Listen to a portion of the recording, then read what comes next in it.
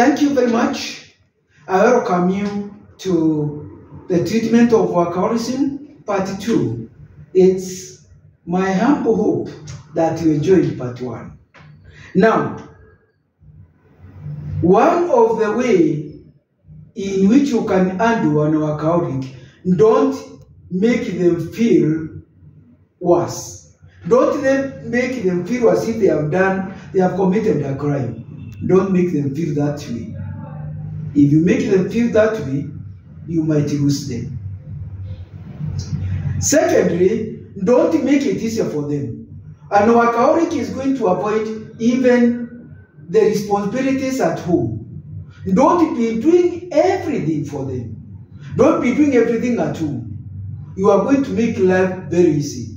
Also, leave some leave something for them. Don't make things so easy for them.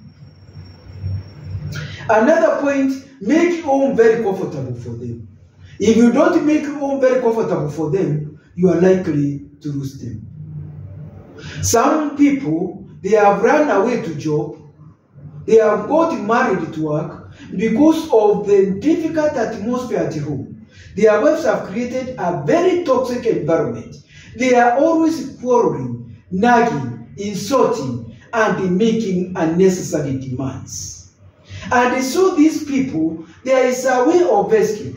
You're either going to get married to work, or you get married to your pombe, you become an alcoholic, so that when you come home, you are demanding wife you have slept.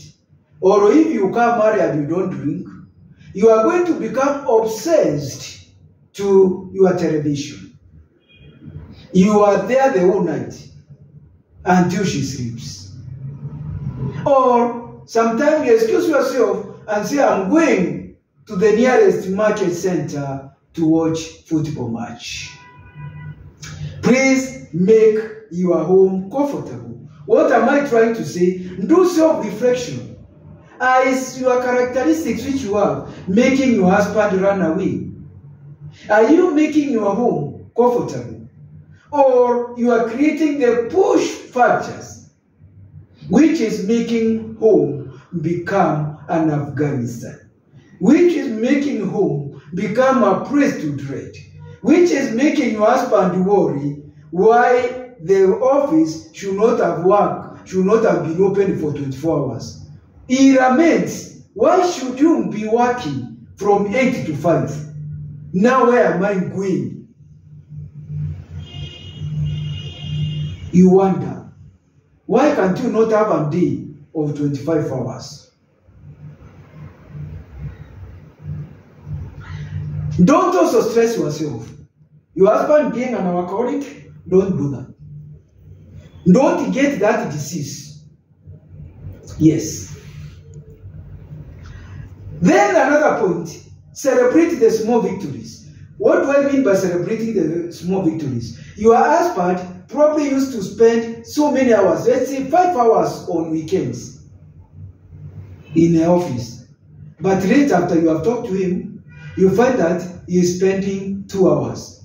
Why don't you congratulate him? Tell him, darling, you have done great. I'm so happy.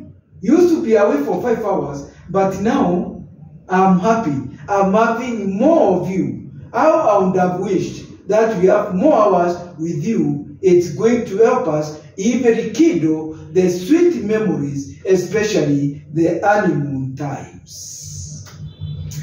Finally, lead by example, walk the talk. Don't blame workaholism when you are also an workaholic.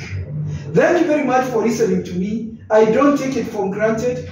And even for those who have also made this channel, a moment with Rokwaro Pro, I, it's a and I greatly appreciate for those who have not subscribed.